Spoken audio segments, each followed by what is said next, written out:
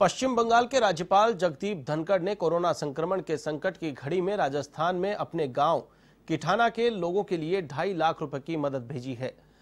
RTDC के पूर्व chairman और जगदीप धनखड़ के छोटे भाई रणदीप धनखड़ ने बताया कि यह राशि ग्राम पंचायत किठाना के बैंक खाते में ट्रांसफ़र की गई है, जो गाँव में खाद्य सामग्री वितरण, मास्क बांटने, गाँव में को सैनिटाइज करने जैसे कामों में काम में ली जाएगी।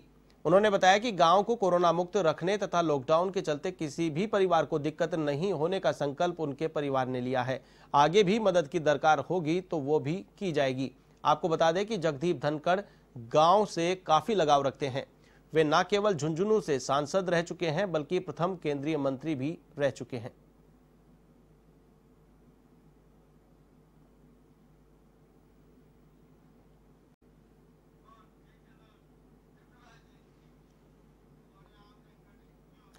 कोरोना वायरस संक्रमण के दौरान चिकित्सा कर्मियों को संक्रमण से बचाने के लिए राजधानी जयपुर का जेकेलोन